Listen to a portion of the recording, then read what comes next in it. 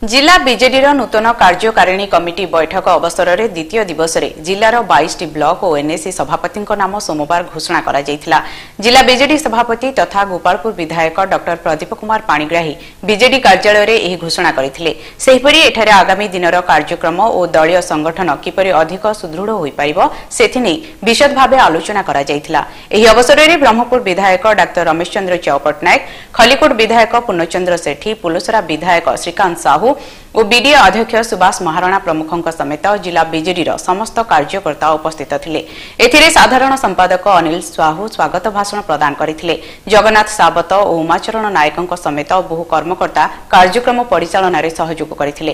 ଆଗାମୀ ଦିନରେ ଦଳୀୟ ସଂଗଠନକୁ ମଜବୁତ କରିବା ନେଇ ସମସ୍ତ କର୍ମକର୍ତ୍ତାଙ୍କ ନିଷ୍ପତ୍ତି କ୍ରମେ କାର୍ଯ୍ୟପନ୍ଥା ଗ୍ରହଣ କରାଯିବ ବୋଲି ଏଠାରେ ଜିଲ୍ଲା ବିଜେଡି ସଭାପତି ଡକ୍ଟର ପାଣିଗ୍ରାହୀ ୟୁଟିଭିକୁ ଏକ ସ୍ୱତନ୍ତ୍ର ସାକ୍ଷାତକାରରେ ପ୍ରକାଶ କରିଥିଲେ।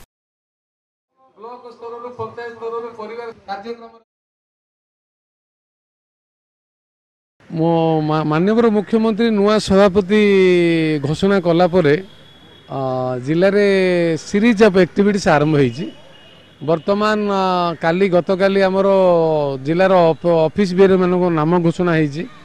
ଜିଲ୍ଲାର ଅଫିସ୍ ବିଏରର ଆଉ ଏକ୍ଜିକ୍ୟୁଟିଭ୍ ମେମ୍ବର ମାନଙ୍କର କାଲି ଆଲୋଚନା ବି ହୋଇସାରିଛି। ଜଳକୁ କେମିତି ଆଗାମୀ ଦିନରେ ସୁଦୃଢ଼ କରିବା ଲୋକାଭିମୁଖ କରିବା ଆଉ ଲୋକଙ୍କର ସମସ୍ୟା ସାମିଲ ଦୃଷ୍ଟିରେ କେତେ ସହଯୋଗ ହୋଇପାରିବ ତା ଉପରେ ଆଲୋଚନା ହୋଇଛି।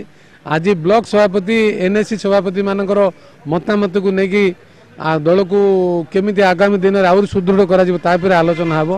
ଆସନ୍ତା କାଲି ମଧ୍ୟ ମହିଳା ମାନଙ୍କର ଆ, ଉଁ, ବ୍ଲକ ସଭାପତି ଏନ୍ଏସି ସଭାପତି ଜିଲ୍ଲା କମିଟିକୁ ନେଇକି ଆଲୋଚନା ହେବ। ତା ପରଦିନ ମଧ୍ୟ କୋଡ଼ିଏ ତାରିଖ ଦିନ ଯୁବ ଛାତ୍ର ବ୍ଲକ ସଭାପତି ଜିଲ୍ଲା କମିଟିକୁ ନେଇକି ମଧ୍ୟ ଆଲୋଚନା ହେବ। ଦଳର ସବୁ ଅଙ୍ଗକୁ ସୁଦୃଢ଼ କରିବା ଲୋକକୁ ସେବା ଦେବା ନବୀନ ବାବୁଙ୍କର ଶାସନର ଯୋଜନା ଲୋକଙ୍କ ପାଖରେ ପହଞ୍ଚାଇବା ତଥା ଗଞ୍ଜାମ ଜିଲ୍ଲାରେ ଯେଉଁ ମାନେ ରହିଯାଇଛି ବାକି କାମକୁ ତାକୁ ସଠିକ ରୂପେ ଲୋକଙ୍କ ପାଖରେ ପହଞ୍ଚାଇବା ଏହା ଦଳର ମୂଳ ଲକ୍ଷ୍ୟ ରହିବ।